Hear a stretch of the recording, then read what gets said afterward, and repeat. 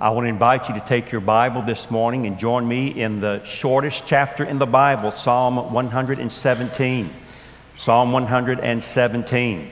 The subject this morning is the little mission psalm, glorious displayed in the life of John Gibson Paton, missionary to the cannibals. Psalm 117, two verses. Hear the word of the Lord. Praise the Lord, all nations. Extol him, all peoples. For great is his steadfast love toward us, and the faithfulness of the Lord endures forever. Praise the Lord. Charles Spurgeon called John Paton the quote, king of the cannibals. Such is an appropriate and accurate description of this brave missionary who risked his life and sacrificed a great deal that the tribes of murderous cannibals in the New Hebrides Islands might praise the Lord for his steadfast love and his faithfulness that endures for generations. As far as we know, the New Hebrides, uh, now known as Vanuatu, had no Christian influence before John Williams and John Harris from the London Missionary Society, who landed there in 1839. Both of these missionaries were killed and eaten by cannibals on the island of Erromanga on November the 20th of that year, only minutes after they had gone ashore.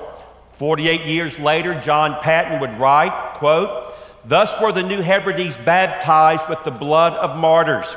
And Christ thereby told the whole world that he claimed these islands as his own. In his classic book on missions, Let the Nations Be Glad, John Piper notes, Missions is not the ultimate goal of the church. Worship is. Missions exist because worship doesn't. Worship is ultimate, not missions, because God is ultimate and not man. These words, I think, capture well what Psalm 117 is all about. It is about missions to the nations who do not worship God in order that they might rightly worship Him. As I noted a moment ago, Psalm 117 is the shortest psalm in the Psalter and also the shortest psalm in all, or shortest chapter in all of the Bible. And yet again, Charles Spurgeon is exactly right when he says, This psalm, which is very little in its letter, is exceedingly large in its spirit. For bursting all bounds of race or nationality, it calls upon all mankind to praise the name of the Lord. Martin Luther, the great reformer, loved the psalm and wrote a 36 page commentary on it. That is, by the way, 18 pages per verse. Uh, psalm 117 is also a part of a half a dozen of Psalms, Psalm 113 through 118, known as the Egyptian Hallel. These six songs were sung as the Hebrews gathered to celebrate the Passover, God's great act of deliverance on behalf of the nation of Israel. Psalm 113 and 114 were sung before the memorial meal, and Psalm 115 through 118 were sung afterwards. Uh, in context, Jesus and his disciples would have sung these very psalms on the night they celebrated the Passover and just before his betrayal and arrest, Matthew 26, verse 30, in Mark chapter 14, verse 26. Psalm 117 is anonymous and it is the fifth of the Egyptian or Exodus Hallels. It is international in scope and reveals for us the heart of our God toward the nations. Verse 2 makes it very clear He loves the nations. And verse 1 is also equally clear He desires that all the nations would worship Him. It's interesting to note that the Apostle Paul in Romans chapter 15 and verse 11 cites this very verse as evidence of God's redemptive love and the fact that his redemptive purpose always included the nations, just like he promised Abraham in Genesis chapter 12, verses 1 through 3. Now, this is what I hope to do in my few moments this morning. I want to bring you, first of all, a brief biography of this wonderful missionary hero, John Paton. I will then follow an expository pattern through the two verses of Psalm 117 and show you how particular aspects of John Paton's life and writings wonderfully match up with this little psalm. And so, first of all, a word of biography. Paton wrote of his own life and his aspirations for his children when he said, and I quote, Let me record my immovable conviction that this is the noblest service in which any human being can spend or be spent. And that if God gave me back my life to be lived over again, I would, without one quiver of hesitation, lay it all on the altar to Christ. That He might use it as before in similar ministries of love, especially among those who have never yet heard the name of Jesus. Nothing that has been endured and nothing that can now befall me makes me tremble. On the contrary, I deeply rejoice when I breathe the prayer that it may please the blessed Lord to turn the hearts of all my children to the mission field and that He may open up their way and make it their pride and joy to live and die in carrying Jesus and His gospel into the heart of the heathen world. By the way, just a quick word it's one thing for you to pray about going to the nations, it's something altogether different when it comes to your children. And it's even something greater than that to pray that prayer for your grandchildren. Yet, here is a man of God that gladly would give his children to the cause of world missions because of his great love for the gospel and Jesus Christ. Now, you might ask, how could he write words like this? And I believe it was because his soul was gripped by an unalterable conviction. I quote, Whatever trials have befallen me in my earthly pilgrimage, I have never had the trial of doubting that perhaps, after all, Jesus had made some mistake. mistake. No, my blessed Lord Jesus makes no mistakes.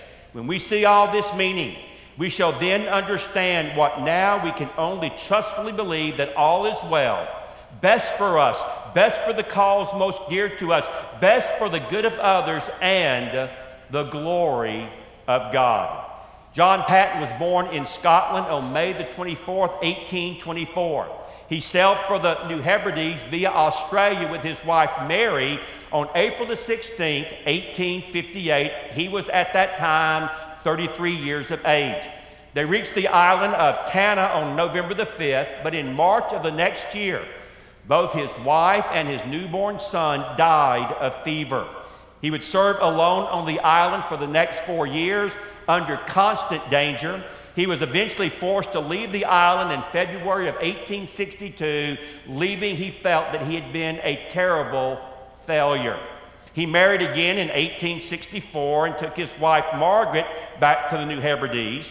This time they went to a smaller island, Aniwa. It was, by the way, only about seven miles by two miles. They would labor on that island for the next 41 years until Margaret died in 1905 when John Paton was 81. The natives of Aniwa were cannibals, and often they would eat the flesh of their defeated foes. They also practiced infanticide, widow sacrifice, killing the widows of deceased men so that they could serve their husbands in the next world. Thinking about what he was encountering, Paton would write, their worship was entirely a service of fear. Its aim being to propitiate this or that evil spirit, to prevent calamity, or to secure revenge. They deified their chiefs so that almost every village or tribe had its own sacred man. They exercised an extraordinary influence for evil. These village or tribal priests, and they were believed to have uh, at their disposal life and death through their sacred ceremonies.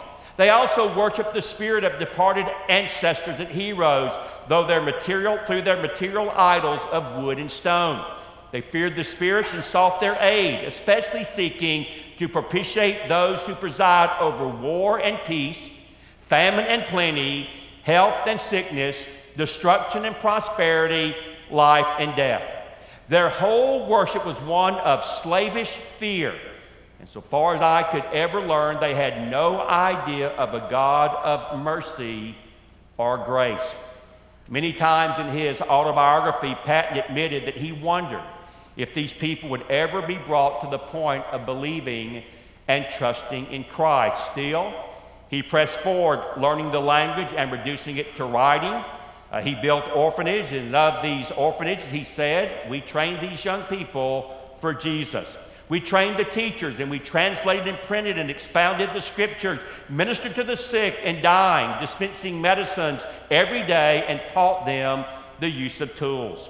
In the next 15 years, John and Margaret Paton saw the entire island of Aniwa turn to faith in Jesus Christ. Later, he would write, I claimed Aniwa for Jesus. And by the grace of God, Aniwa now worshiped at the Savior's feet. In 1897, he published the New Testament in the Aniwan language. Even to his death, he was translating hymns and catechisms and creating a dictionary for his people, even though he was unable to be with them any longer. During his years of labor on the island, Paton kept a journal and notebooks and letters from which he wrote his massive autobiography in three parts from 1887 to 1898. Paton would outlive his second wife by just two years. He would die in Australia on January the 28th, 1907. Today, 85% of the population of Vanuatu identifies itself as Christian. 20% proudly identify themselves as evangelicals. The sacrifices and legacy of this missionary to the New Hebrides are really difficult to put into words. I'll simply summarize it this way Our great God did a great work in and through this man that the people of Aniwa would praise the Lord for his steadfast love and his faithfulness that endures forever. So let us move to the text and let me make two simple and overarching observations from God's word this morning. Number one, the Lord is to be magnified among the nations. Verse 1 Praise the Lord, all nations. Extol him, all peoples. Psalm 117 follows what we call a command reason pattern. We are told what to do in verse 1. We are told why we do it in verse 2. Furthermore, both verses follow classic Hebrew parallelism because we see that the second line in each verse reinforces the first line. Furthermore, the psalm opens and closes with the same word, praise or hallelujah. Psalm 117 then is clearly a universal invitation to people everywhere to praise and to also extol the Lord because of, verse 2, his steadfast love and his faithfulness.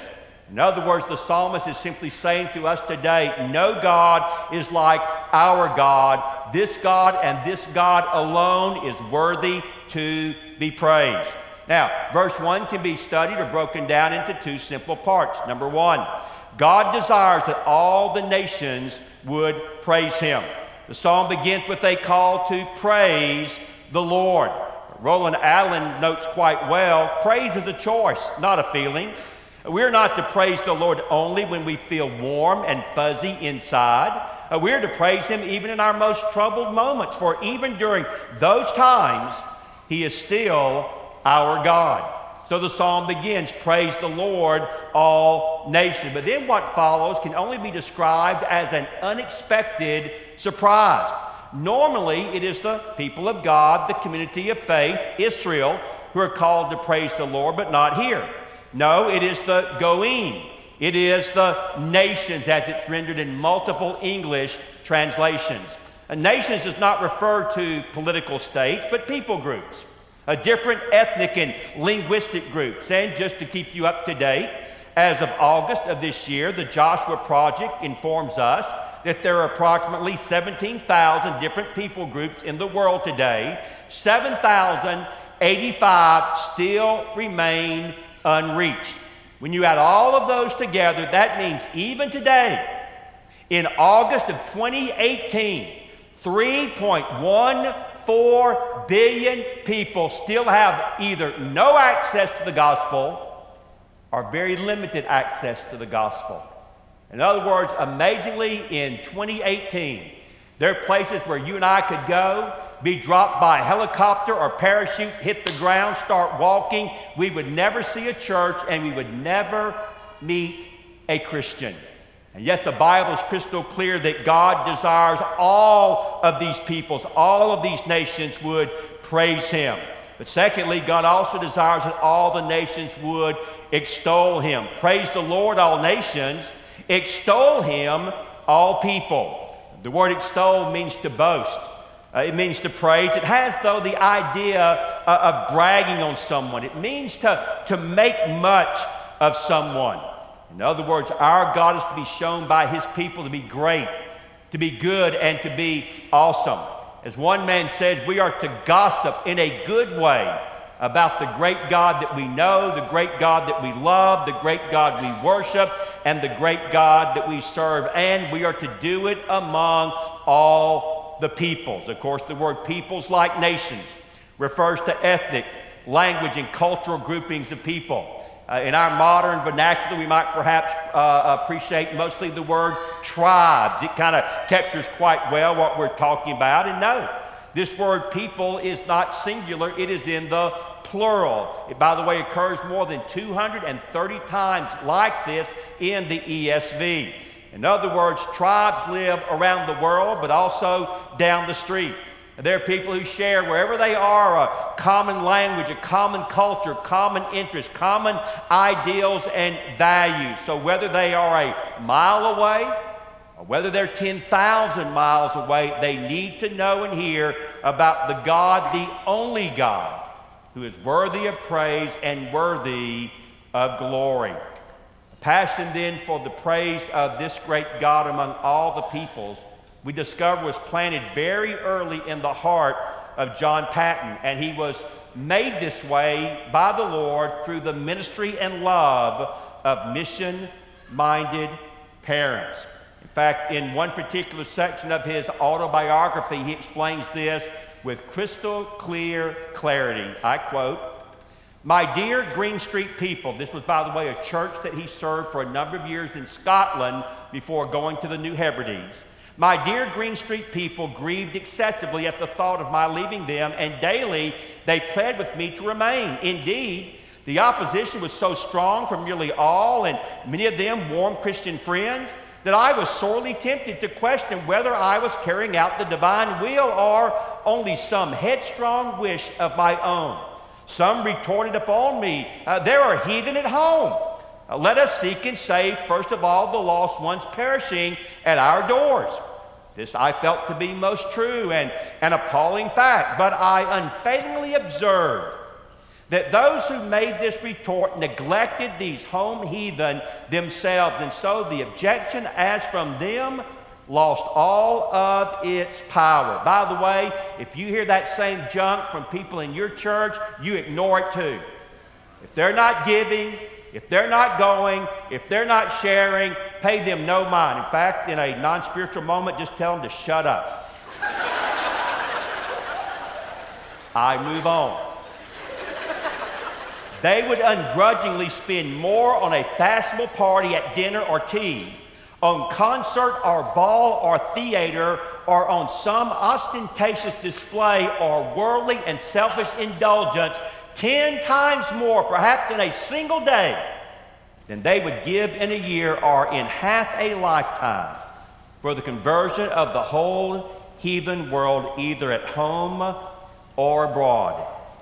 Objections from all such people must, of course, always count for nothing among men to whom spiritual things are realities.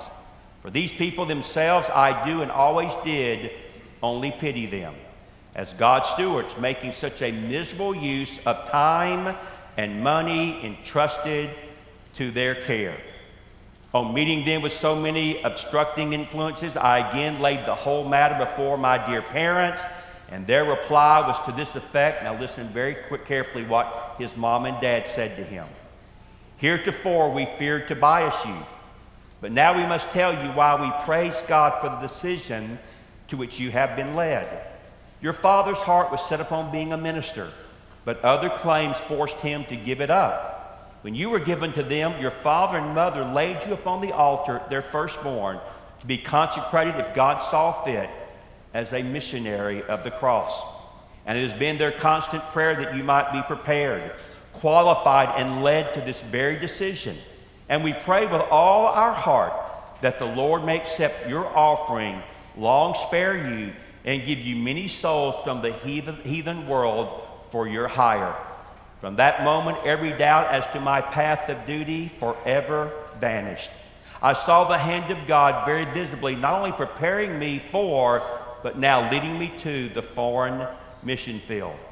Thus, it is no surprise that as a young boy, Paton sensed the call to be a missionary, and speaking specifically of his father's influence, he would add, as we rose from our knees in prayer, I used to look at the light on my father's face, and I wish I were like him in spirit, hoping that in answers to his prayers, I might be privileged and prepared to carry the blessed gospel to some, to some portion of the heathen world. I have little doubt that it was the spirit of his father that gave John Paton, first of all, the courage to go, but also it gave him the fortitude to stay among the cannibals of the New Hebrides. Let me say a quick word about both. First of all, the courage to go, a very famous story. Pat was once confronted by an older saint who sought to discourage him from going to the New Hebrides, and he chided him with these words The cannibals, you will be eaten by the cannibals. Paton calmly replied, Mr. Dickson, you are advanced in years now, and your own prospect is soon to be laid in the grave, there to be eaten by worms. I confess to you that if I can but live and die serving and honoring the Lord Jesus, it will make no difference to me whether I am eaten by cannibals or by worms. And in the great day, my resurrection body will rise as fair as yours in the likeness of our risen Redeemer. The old gentleman, after hearing this, raised his hands in a deprecating attitude, left the room exclaiming, After that, I have nothing more to say. Good. The, the courage to return and stay. Let me give just one example the death of his precious 19 year old wife and his baby boy. Paton writes In a moment altogether unexpectedly, she died on May, March the 3rd. To crown my sorrows and complete my loneliness, the dear baby boy whom we had named after her father, Peter Robert Robson, was taken from me after one week's sickness on the 20th of March. Let those who have ever passed through any similar darkness as of midnight feel for me. As for all others, it would be more than vain to try to paint my sorrows. He, by the way, would dig two graves with his own hands, bury them right beside the house where he lived, and then he would add this in his autobiography. Stunned by that dreadful loss and entering upon the field of labor to which the Lord had himself so evidently led me, my reason seemed for a time almost to give way. The ever merciful Lord sustained me, and that spot became my sacred and much frequented shrine during all the following months and years when I labored on for the salvation of the savage islanders amidst difficulties, dangers, and death. Listen carefully but for Jesus and the fellowship he vouchsafed to me there, I must have gone mad and died beside the lonely grave. Brothers and sisters, the Lord Jesus was faithful. And so listen again to the heartbroken cries of this wonderful man of God. I felt her loss beyond all conception or description in that dark land. It was very difficult to be resigned, left alone, and in sorrowful circumstances but feeling immovably assured that my God and Father was too wise and loving to err in anything that He does or permits, I looked up to the Lord for help and struggled on in His work. I do not pretend to see through the mystery of such visitations wherein God calls away the young, the promising, and those sorely needed for His service here. But this I do know and feel that in the light of such dispensations, it becomes all of us to love and serve our blessed Lord Jesus so that we may be ready at his call for death and eternity. Yes, the Lord is to be magnified among the nations. Number two, the Lord is to be magnified because of his nature. Look at verse 2. For great is his steadfast love toward us and the faithfulness of the Lord, it endures forever. Praise the Lord. There's a rhyme and reason to God's call to magnify himself among the nations. It's not arbitrary, it's not whimsical, it's not misplaced. It's not the because I said so of a celestial bully or a capricious deity on a cosmic ego trip. No. It is a call rooted in the very nature and character of God that, when rightly understood, causes us to rise up and worship Him because we must, and it causes us to rise up and worship Him because we want to. And what can we say about this great God? Two things are said there in verse 2. One, He is great in His love for us. And two, He will be faithful to love us forever.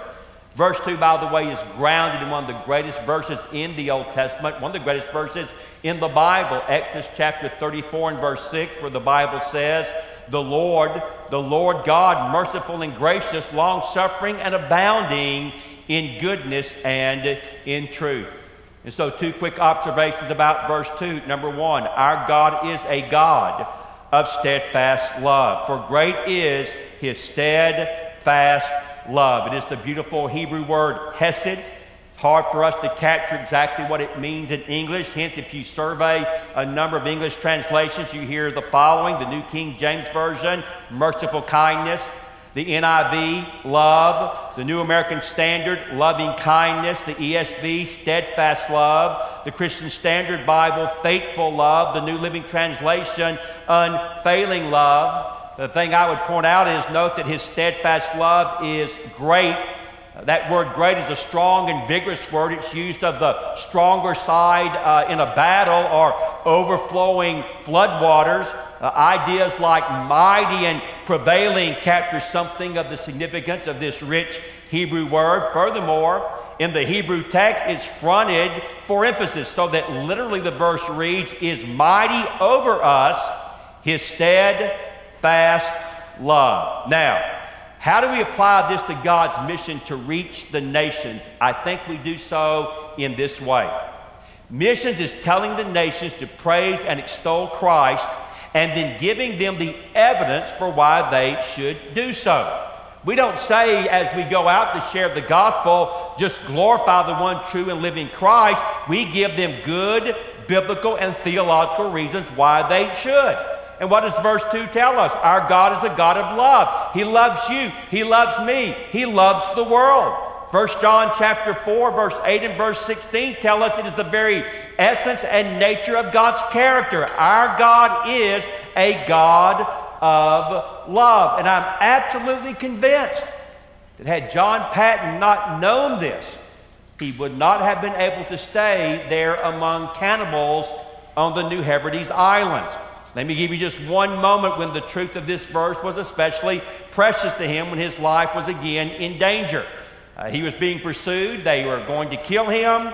Uh, natives that he could not really trust told him to climb up and hide in a chestnut tree. He really was at their mercy, and so he had no other recourse than to do what they said. And here's what he described about his spending a night hiding for his life hidden up in a tree. I quote Being entirely at the mercy of such doubtful and vacillating friends, I, though perplexed, felt it best to obey. I climbed into the tree and was left there alone in the bush. The hours I spent there live all before me as if it were but of yesterday. I heard the frequent discharging of muskets and the yells of the savages, yet I sat there among the branches as safe as in the arms of Jesus. Never in all my sorrows did my Lord draw nearer to me and speak more soothingly in my soul than when the moonlight flickered among the chestnut leaves and the night air played on my throbbing brow as I told all my heart to Jesus. Alone, yet not alone. And if it be to glorify my God, I will not grudge to spend many nights alone in such a tree to feel again my Savior's spiritual presence, to enjoy his consoling fellowship, if thus thrown back upon your own soul alone, all alone in the midnight, in the bush, in the very embrace of death itself, have you a friend that will not fail you then? And of course, the answer is yes. And his name is Jesus. Our God is a God of steadfast love. And then finally, our God is a God of faithfulness. For great is his steadfast love toward us, and the faithfulness of the Lord, it endures forever. In other words, if God's steadfast love is great, his faithfulness is eternal, everlasting. It endures forever. In other words, God made a promise to Abraham in Genesis chapter 12 that all the earth, all the peoples would be blessed by his descendants. From Abraham came Israel. From Israel came Jesus. God kept his word. That word faithless carries the idea of truth or to be firm or unshakable. And I think it's very clear the two ideas are interrelated. If he is always truthful, it is because he is always faithful. And if he is always faithful, it is because he is always truthful. In other words, what God has promised to do for us in Christ is as certain and sure today as on the day that he made them. These truths again clearly captured the heart of John Paton and moved him to put all on the line for King Jesus. As I move to close, let me again let him speak for himself. Nothing so clears the vision and lifts up the life as a decision to move forward in what you know to be entirely the will of the Lord. By the way, I've said this many, many times. God's will is not always easy. And God's will is not always safe. But God's will, as Romans chapter 12 and verse 2 tells us, it is always perfect. He continues. Our continuous danger caused me now oftentimes to sleep with my clothes on, that I might start at a moment's warning. My faithful dog, Clutha, which he had named after the ship that brought him there, my faithful dog, Clutha, would give a sharp bark and awaken me. God made them fear this precious creature and often used her in saving our lives. I would just simply note very quickly it was a dog, not a cat. I, um, I move on. My enemies seldom slackened their hateful designs against my life, however calmed or baffled for the moment. A wild chief followed me around for four hours with his loaded musket, and though often directed toward me, God restrained his hand. I spoke kindly to him and attended to my work as if he had not been there, fully persuaded that my God had placed me there and would protect me till my allotted task was finished. Looking up then in unceasing prayer to our dear Lord Jesus, I left all in his hands. I felt immortal till my work was done. Trials and hairbreadth escapes strengthened my faith and seemed only to nerve me for more to follow. And this is what followed. When natives in large numbers were assembled at my house, a man furiously rushed on me with his axe, but a Kaserumini chief snatched a spade with which I had been working and dexterously defended me from instant death. Life in such circumstances led me to cling very near to the Lord Jesus. I knew not for one brief hour when or how attack might be made, and yet, with my trembling hand clasped in the hand once nailed on Calvary, and now swaying the scepter of the universe, calmness and peace and resignation abode in my soul. You have known better than John Paton, our Lord's great steadfast love and our Lord's faithfulness that endures forever. John Paton's life, I believe, can be best summarized in his own words. He said, God gave his best, his son, to me, and I give back my best, my all, to him. What a wonderful way to think. What a wonderful way to live. What a wonderful way to die. May God, by His grace and for His glory, even among this student body, raise up more John Patons, so this Charles Spurgeon well said, No one tribe of men shall be underrepresented in the universal song which shall ascend unto the Lord of all forever and ever. Praise the Lord. Several years ago, we became convinced that we needed a new uh, seminary hymn. one that reflected the heart and passion of Southeastern Seminary. And uh, Keith and Kristen Getty, dear friends to me and to many others at this school, graciously set about that task, and they penned for us, I think, just the perfect song. So as we are dismissed this morning, we're going to stand, sing this song, close in prayer, and then be dismissed to go out. And like John Paton, trust in the will of the Lord, go wherever it is that God may send us, trusting that until He is through with us, we are immortal. No one can lay a hand to stop us. Let's stand, we sing together.